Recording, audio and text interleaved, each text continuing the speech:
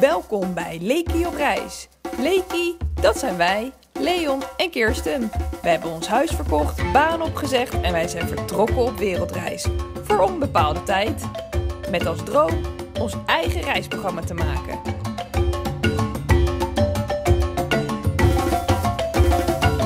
Dit is Leki op reis.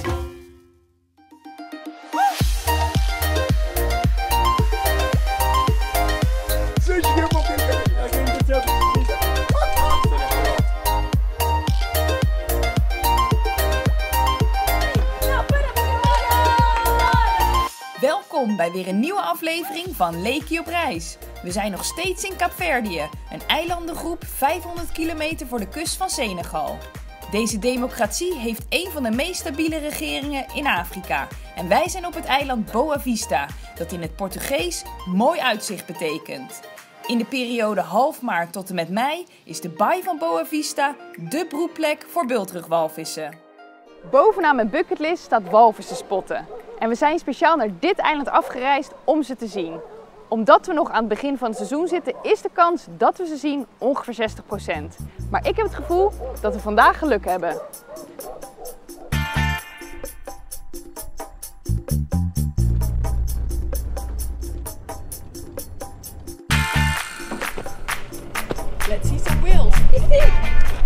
Katia, zij is een bioloog aan boord. Want naast het Whale Watch doen ze ook onderzoek naar de walvissen. Dus zij weet heel veel van deze dieren af.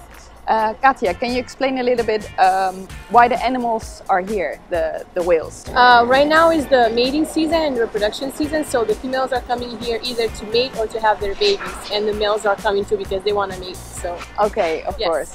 And, right. and where are they coming from? uh, well, they're coming from the North Hemisphere. Uh, the population here in Cape Verde is coming either from Iceland or Norway.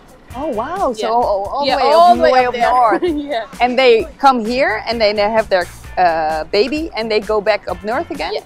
Yes. Oh, They wow. go back to their feeding area. So it's like around four to five thousand kilometers. Uh, Yeah. yeah. They take like almost a month and a couple weeks. Like I think thirty to forty days travel. That's not a lot. No, it's they do it really fast. Yeah. Yeah.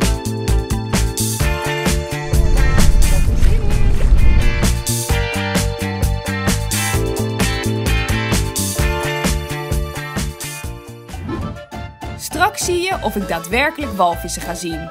Nu gaan we eerst over naar Leon, die natuurlijk ook op het eiland is. Boa Vista kent vele gezichten en die ga ik ontdekken, zowel te voet als met het lokale openbaar vervoer. Als eerst breng ik een bezoek aan de woestijn van dit eiland. Ja, je hoort het goed, dit eiland heeft een woestijn. Dit hier is de Viana-woestijn. En de Viana-woestijn is een uitbreiding van de bekende Sahara. Dat komt omdat de passaatwinden van het Afrikaanse vasteland heel veel zand met zich meebrengen. En dat zand komt over zee onder andere hier terecht. En dat vult deze woestijn.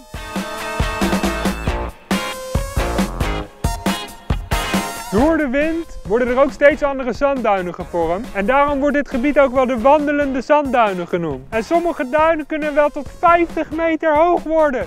Super vet! Vanuit deze woestijn kun je ook s'avonds de prachtige sterrenhemel bewonderen.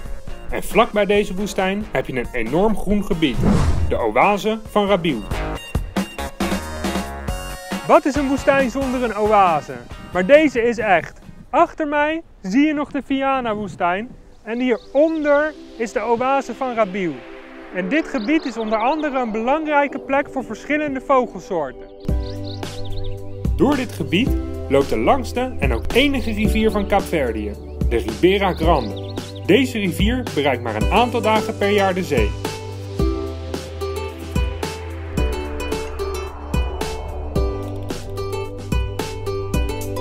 Na een prachtige route ben ik aangekomen op een van de vele zandstranden.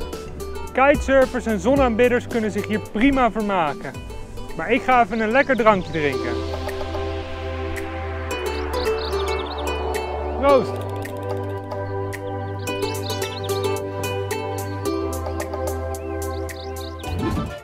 Terug naar Kirsten, die hopelijk de walvissen van haar bucketlist mag afstrepen.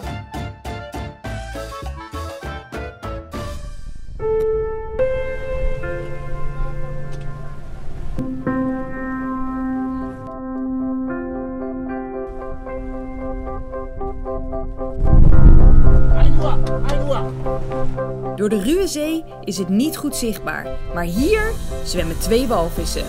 Dat is te zien aan de lucht die ze uit hun spuitgaten blazen.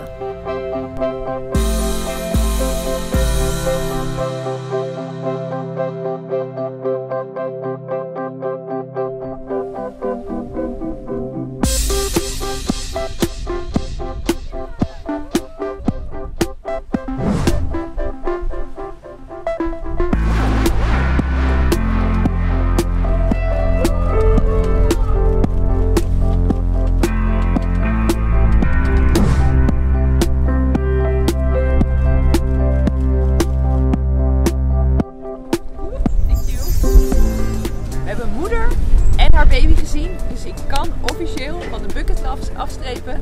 Walvis gespot. Woehoe! In de maand april zijn de walvissen dichter bij de kust van het eiland en kunnen ze er echt een spektakel van maken.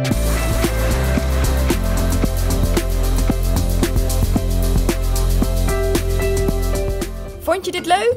Like dan deze video. En wil je op de hoogte blijven van onze avonturen? Abonneer dan nu gratis op ons YouTube kanaal. Tot ziens bij de volgende aflevering van Leekie op reis.